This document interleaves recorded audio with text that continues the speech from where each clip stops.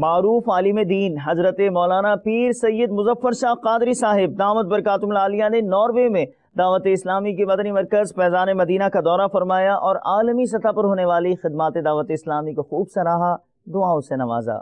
کو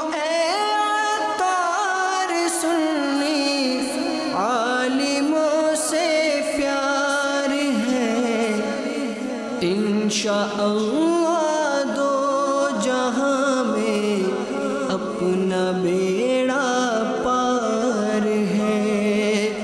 الحمدللہ رب العالمین والصلاة والسلام علی اشرف الانبیاء والمرسلین۔ الحمدللہ اللہ رب العالمین جل وعلا کے کرم و فضل سے یہاں پر تبلیغی دورے پر مجھے اوسلو، ناروے آنے کا اتفاق ہوا یورپ کے غور ممالک میں۔